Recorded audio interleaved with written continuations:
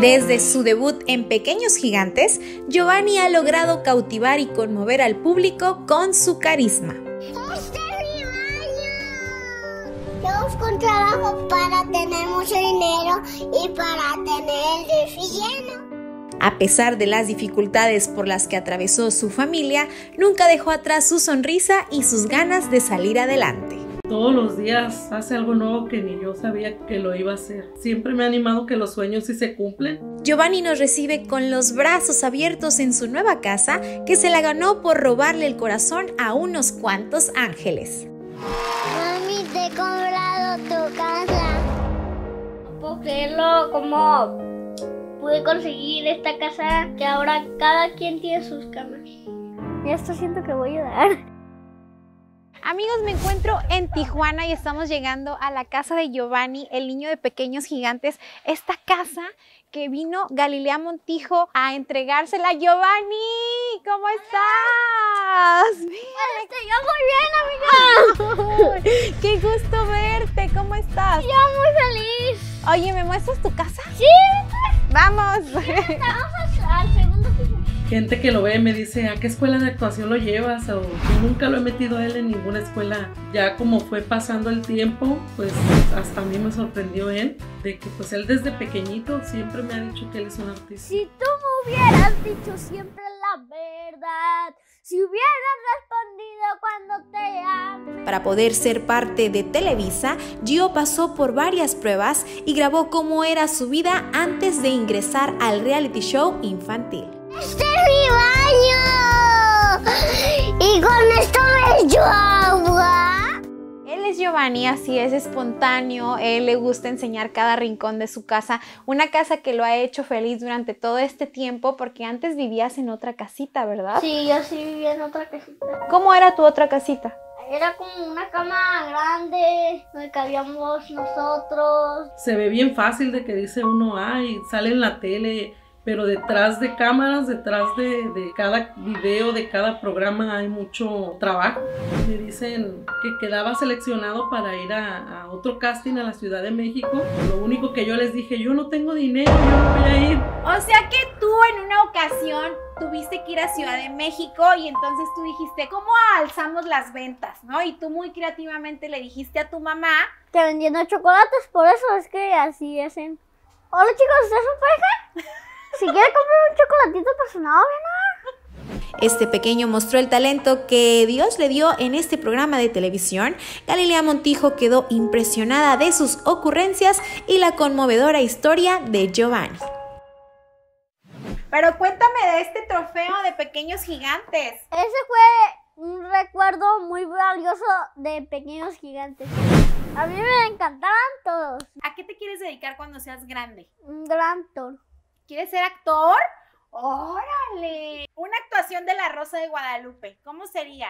Eh, el niño que perdió a su mamá.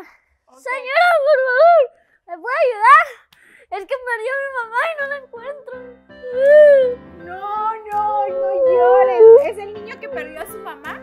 Sí, por eso. Todo lo que dijo así como lo dijo, todo lo que iba a hacer y todo lo como lo dijo antes de él saber a lo que iba, así lo hizo. Oye, tú chico ha apoyado muchísimo a tu mami, ¿verdad? Sí, yo pienso en todos, amigos.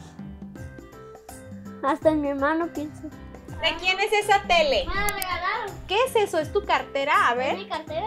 ¡Wow! Tienes dinero. También trabajo, pues yo sí trabajo. ¿Y de qué trabajas, Giovanni? Yo trabajo en televisión.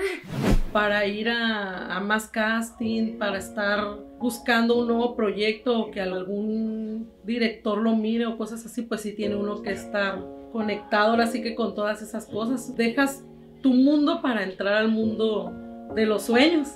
Yo busco un trabajo para tener mucho dinero y para tener el. Debido a la situación económica del pequeño, la conductora le dio una gran sorpresa. Me siento muy bien por mi hogar dulce hogar. Ya esto siento que voy a dar.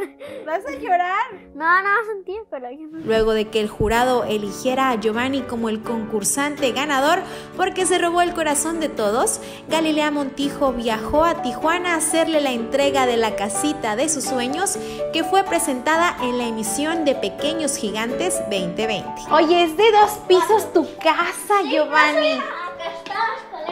Aquí está el baño con mis cepillos y todo. Aquí está, yo nomás abro la regadera con agua calentita. Me baño, me subir la colita, las arcillitas y ya. Ahora les voy a enseñar mi cuarto, chicos. Enséñame tu cuarto, Pues Giovanni. aquí está. Oye, ¿y esta es tu cama o esta de acá? Este, mi cama es esta acá. Ay, es Y hasta tengo mi PlayStation, aunque sea. Corté la rosita, pero. No puedo creerlo, como pude conseguir esta casa que ahora cada quien tiene sus camas. ¿Qué le vas a pedir a Santa? Yo, para que me entretenga un PlayStation. Un PlayStation. ¿Y de cenar qué quieres cenar? Me puse un pollo, un guajolote, como enseñaron en el rancho. ¿Qué crees? Que te tengo una buena noticia. Voy a hablar con el dueño de Badabun, que de hecho yo sé que él nos va a apoyar. ¿Y qué crees, Giovanni? Si ustedes comparten este video, por cada compartida le vamos a dar un peso a Giovanni. Imagínate un millón de pesos. Ah, ¿Te gustaría? pues sí, a mí sí. Así es, y bueno, para que tengas esta Navidad el pollo que tú quieres, eh, la cena con El regalos. Por favor, La diles vaca igual, la vaca. Ay, me encantó conocerte, Giovanni. De Igual verdad, me caes muy bien. Eres un niñazo, tienes mucho talento. Y yo voy a ayudarte, ¿ok? Estás llorando. Yo no. Estoy muy emocionada, con lágrimas de felicidad. Muchísimas gracias por compartirme tu casa. Y bueno, yo los espero en el siguiente video. Vamos a estar leyendo sus comentarios. Sigan a Giovanni en sus redes sociales. Y yo los espero en un video más. Esperen, les tengo que decir algo. Que por cada compartida me van a dar un peso. Así es, Giovanni, un peso. Eso sí, recuérdenlo muy bien. Qué bueno que les dices.